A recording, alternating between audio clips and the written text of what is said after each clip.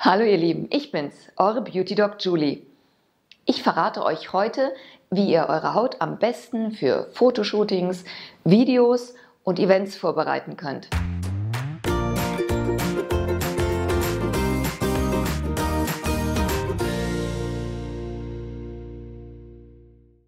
Ich werde häufig gefragt, was kann ich tun, um meine Haut vor der Kamera zum Strahlen zu bringen? Insbesondere von Leuten, die eben sehr, sehr viel vor der Kamera stehen. Zum Beispiel Models, Schauspieler, Blogger, aber auch viele YouTuber. Und ich sage dann immer, das Allerwichtigste ist, dass das Licht gut von der Haut reflektiert wird.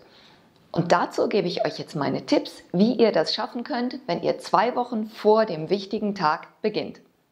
Jetzt möchten einige von euch vielleicht sagen, hm, brauche ich alles gar nicht. Es gibt Beauty-Apps, Photoshop, tolle Lichtsetzungen und so weiter und so fort. Aber ist nicht die beste Ausgangssituation eine wirklich schöne Haut? Und dieses Thema ist altersübergreifend. Das heißt, es geht jeden von uns an. Und es geht auch nicht darum, kleine Fältchen zum Verschwinden zu bringen, sondern die Haut muss so präpariert werden, dass sie wunderbar ebenmäßig und harmonisch ist und dadurch das Licht besonders gleichmäßig reflektieren kann. Und das sieht dann auf Fotos und Videos einfach viel strahlender aus.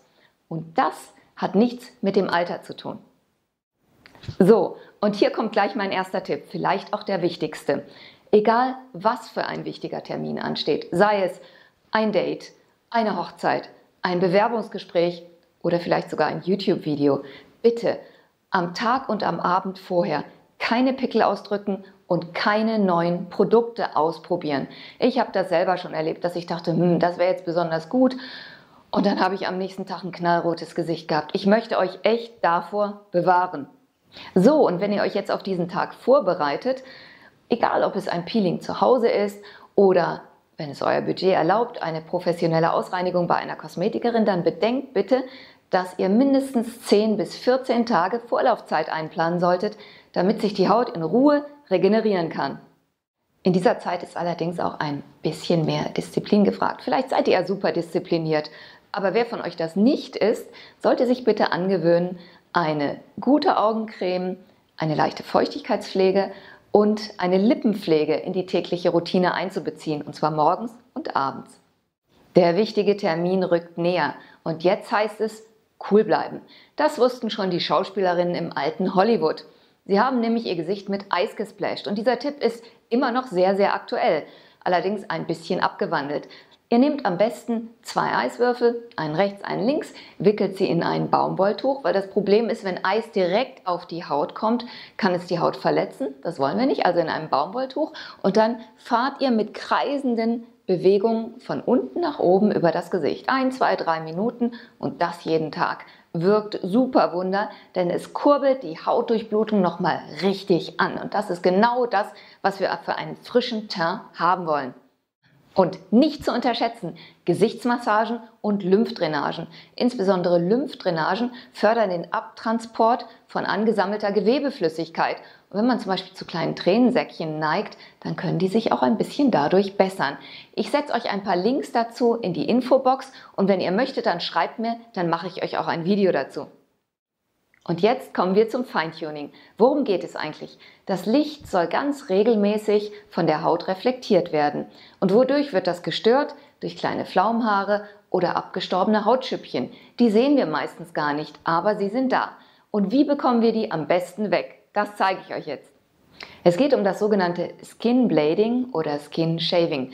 Und dazu besorgt ihr euch diese kleinen, entweder Augenbrauen oder Gesichtsrasiererchen. Könnt ihr beides nehmen, gibt es im Internet für ein bis drei Euro funktioniert wunderbar. Und ich zeige euch jetzt mal, wie ich das mache. Normalerweise müsst ihr das natürlich auf gereinigter und trockener Haut machen. Das Make-up denkt ihr euch bei mir jetzt mal bitte kurz weg. Ihr nehmt diese kleinen Rasiererchen und setzt sie in einem 45 Grad Winkel auf die Haut auf. Also am besten die Haut ein bisschen ziehen, so, und dann in einem 45 Grad Winkel von oben nach unten gehen. So funktioniert das von oben nach unten. Ganz vorsichtig. Wichtig ist, dass ihr sie nicht in einem 90 Grad Winkel ansetzt und auch nicht, dass ihr so oder so zieht. Denn obwohl die Klinge nicht so scharf, wie bei den normalen Männerrasierern sind, könnt ihr euch ganz schön damit verletzen. Also bitte macht es nicht. Und wichtig ist auch, dass ihr nicht nach oben rasiert, denn dann geht ihr gegen die Wuchsrichtung. Und das kann letztendlich zu Verletzungen oder auch dazu führen, dass ihr eingewachsene Haare bekommt. Das war's zum Blading. Und jetzt am letzten Tag vor dem Event geht es um die Maske. Aber nicht nur darum, eine Maske aufzutragen, sondern ein Double Masking zur Vollendung des Teints.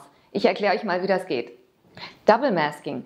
Dabei wendet man zwei Masken hintereinander an. Mit der ersten Maske werden sozusagen noch die restlichen kleinen Hautschüppchen abgetragen und die Haut optimal geglättet. Deshalb solltet ihr das auch am Tag nach dem Blading machen. Und ich nehme da meist eine schwarze Peel-Off-Maske her. Ich finde die super, weil man erkennt ganz genau, wo man gewesen ist. Und hier, das habe ich gestern Abend gemacht, weil ich vor jedem Dreh wenn ich es zeitlich schaffe, dieses Double Masking auch wirklich selber mache. Direkt nachdem ihr die Peel-Off-Maske runtergezogen habt, wendet bitte eine Hydromask, also eine feuchtigkeitsspendende Maske an. Ganz wichtig, die sollte unbedingt fettfrei sein. Zum Beispiel diese grüne hier. Ich setze euch auch den Link in die Infobox. Und bevor ich es vergesse, ganz wichtig bei der Wahl eurer Feuchtigkeitsmaske ist, dass ihr eine nehmt, die nicht abgewaschen werden muss. Sonst ist nämlich der ganze Zauber wieder dahin. Ein paar andere Dinge müssen noch beachtet werden. Die Ernährung und der Schlaf. Ich weiß, da gibt es x Videos zu und wahrscheinlich könnt ihr es auch gar nicht mehr hören. Deshalb werde ich darüber auch nicht lange reden. Ganz kurz nur, bei der Ernährung achtet bitte darauf, dass ihr euch einigermaßen gesund kontinuierlich ernährt. Also viel Obst und Gemüse. Und für Skin Food mache ich euch noch ein extra Video.